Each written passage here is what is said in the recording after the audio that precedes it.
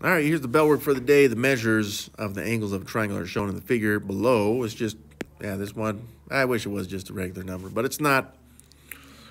And uh, what we have learned already in this unit is that the three angles on the inside of a triangle, they're all going to add up to 180. So I'm going to take those three angles, okay? We got the 55 degree angle, we got a 41 degree angle, then we got that kind of a oddball one there which is a math expression.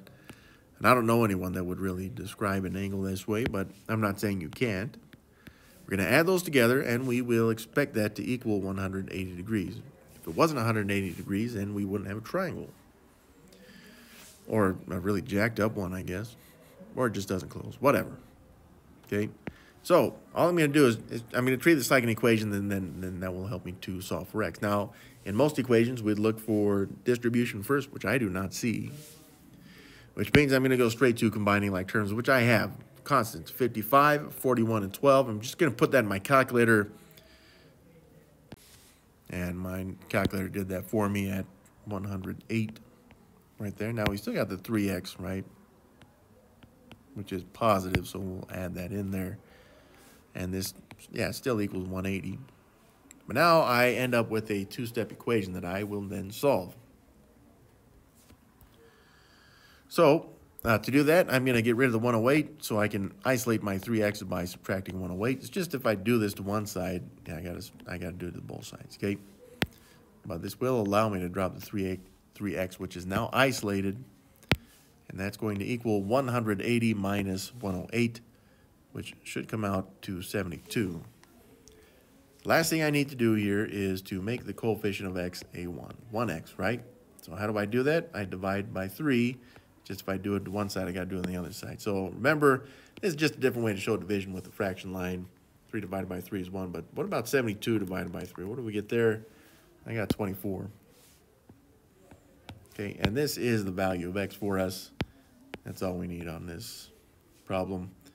Of course, you, you, we could have figured out the measure of this angle, which, uh, well, I guess we, we could have used the formula for this, but no need. We were just solving for x. You could just replace the x in here as well, and then that would have given you the measure of this angle.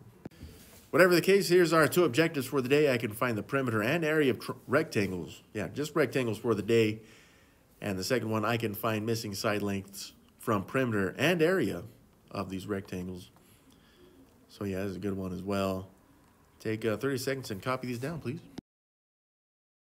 All right, just so we understand these two words, which I, I, I hope you've heard them before. If not, that's okay. Perimeter is just the length around the shape. So if we see a shape like this one, it's just how far is it to go all the way around the shape, which means all we're going to do is just add the four lengths together. Okay, the width, the length, the width, and the length. I like to see all four of those when I'm adding for the perimeter of rectangles, at least by hand. There are formulas to do this, but as long as you understand that it's just the, the length around the shape, then the outside of the shape specifically, then you're good. If for some reason it was a triangle, so like a rectangle here, we see we're going to add four side lengths together for the perimeter. If it was a triangle, then you'd be adding three lengths together. All right, now that's the perimeter. The, the area is the surface space taken up by the shape, meaning if you were to look at this rectangle right here, it's kind of like what I would do if I were to try to color this in. And no, staying between lines is not really my forte, but whatever. Okay, so the green space right here, the green space or surface is the area of that shape. Well, how do you find that? You just take the length and the width and multiply the two together. Now, if for some reason you wanted to make a math nerd really angry, I, I don't get too worked up by this stuff, but they want they usually would want the length to be longer of the two sides. So if for some reason you said, "Hey, this is the length here and that's the width," uh, you could you could you could make some math nerds brain explode. It's not very pretty, but uh, it sometimes can be fun to do. I'll leave that to you, though, okay? All right, now uh, it says down here triangles are half length times width. Uh, although we're not going to see triangles today, the reason why this works is because what we end up doing uh, just just kind of like it shows in the formula right here. It's length times width, which is the exact same as a rectangle. It's just that it's cut in half, okay? And this would be true not just for rectangles, but for what we call parallelograms, which a rectangle is one type of. I suppose I'm saying a lot of stuff you guys don't care about, but in the future you may not see triangles that look perfectly like this one, which we call right triangle. However, uh, they don't they don't have to be rectangles. You can take a parallelogram, cut it in half, and you have a, a triangle. Either way, it's half the length times the width. Uh, but again, I'm just pointing this out. We're not going to see these today, but just know in the future we probably will. Now, the last thing we need to talk about on this perimeter and area stuff, perimeter is going to have the same exact label as we see with the sides. Okay, so we're looking at lengths. So if you're looking American, you're looking at inches, feet, yards, miles. There's more, but I can't think of any. If you're looking at something metric, meters, um, kilometers, millimeters, centimeters, stuff like that. Uh, but area, though, we can see is kind of like the, the surface of this shape right here. Uh, what this means is that what you can do, not that I think you'd want to, but you can kind of divide this up into a bunch of squares. And so we, I know these aren't squares because my drawing sucks.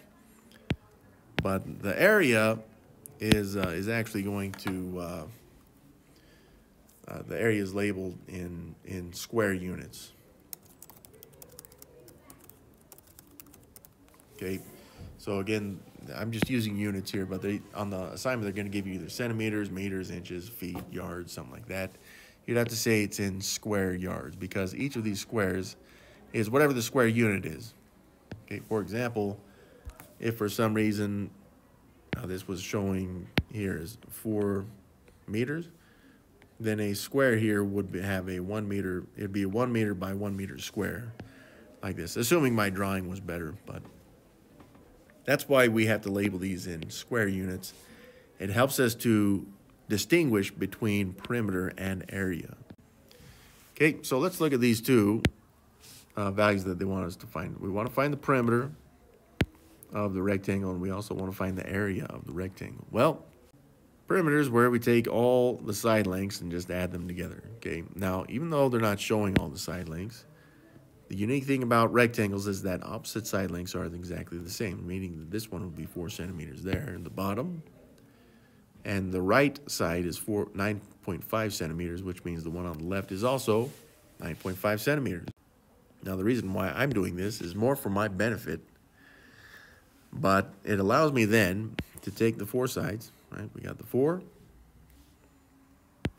we got the 9.5, and I'm doing this going clockwise, starting with the top there, and then another 4, and then another 9.5. This is all four side lengths.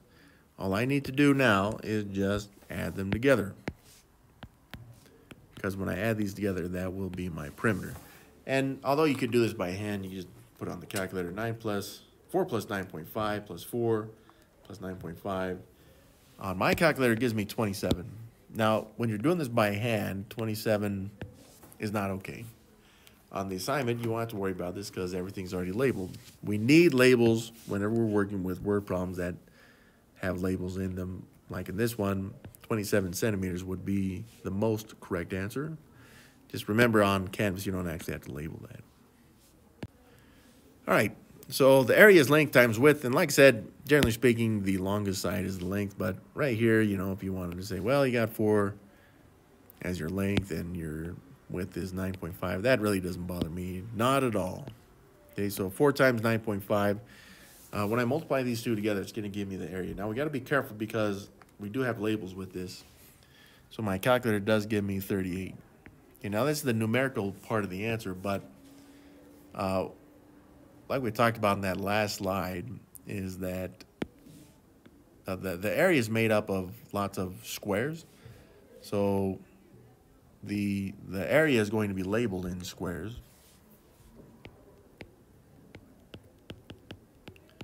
Uh, well, what type of squares are we talking about? Well, we know that the labels are in centimeters, so you can just say square centimeters, okay? Now, I'm, I'm going to keep it like this. We know from uh, from using exponents, if we see something like this, it actually reads as centimeters squared. It's the same thing as saying square centimeters. But uh, I'm going to avoid that for now, just because it doesn't matter. We're going to, I, am going to keep this as squ uh, square centimeters because uh, it's important to understand we're looking at a bunch of squares inside of the shape. All right, so there's our answer there, 38 square centimeters. All right, so finding the area of a square isn't too bad. I think you guys have done that before, length times width. Uh, but on this one, we see that we have the area. The problem is we have a missing side length, and it's just the side length that we need on this one. We're round to the nearest tenth if it's necessary. Well, let's find out. All right, so this, this is what I need for area, right? And in fact, I'll just show that this is the formula for our area. We'll need that. Now again, it doesn't really matter which of the sides you say is length and width. Uh, I'm going to say the first one there is my length. Uh, again, if you said it's the width, that's okay. We'll see that it kind of works out better for us if it's the first one, whatever you say is length or width. And then the area they gave us already at uh, 53.1 square feet, right? So what we're looking for here is the width, which we don't know. Okay, so you could put a question mark right here, but this is an equation that we need to solve. We can use one principle of equality to solve this. Okay, and that will give me my width, right? Because I just want, I don't want a 11.3 W's, I just want one W. So how are we going to do that? Well, I'd have to divide both sides by the 11.3 there. Okay, yeah, again, if you do it on one side, you got to do the other side. So in my calculator, I've got 53 53.1 divided by 11.3. Enter, and it gives me a pretty ugly decimal right there. 4.699115044. But it did say it around the nearest tenth, which for me would be 4.7. Okay, now the answer is not 4.7. Remember to label it, right, just like we saw back here. It's 4.7 feet. If it were an area, then we would label it in square feet. You see here, again, they've used the exponent right there. Uh, it may be better for us while we're getting used to this to see it as square feet, though. But you, will see it like this on the assignment. All right, how about this one? Same idea. They've, they've given us the area. We have a missing uh, side length right here and one that was given to us. It's a rectangle, so we're expecting this to be length times width, right? So let's see that formula there. There it is. Doesn't matter which one you say is length or width. I just like to say the one that's given is length, doesn't matter to me. But length showing is 0.6 centimeters, so well, let's put that in there. 0.6, I don't really need the label. Again, we don't know what the width is, although it is being multiplied, and this would then be the area, which was given as 1.2 centimeters, okay? So there's my formula. You know, in fact, I'm going to move that 0.6 a little bit closer, just so it resembles an equation better for us. 0.6 W equals 1.2. All I need to do is solve this equation for W. So that's what I'm going to do. Uh, again, I, I want this to be 1W, not 0.6 Ws. So to do that, I will divide it by itself, the coefficient 0.6. Just if I do it to one side, I must do it to the other side as well. So 1.2 divided by 0.6 on my calculator says just 2. Okay, but again, uh, don't forget your label on these answers, at least when you're doing it by hand.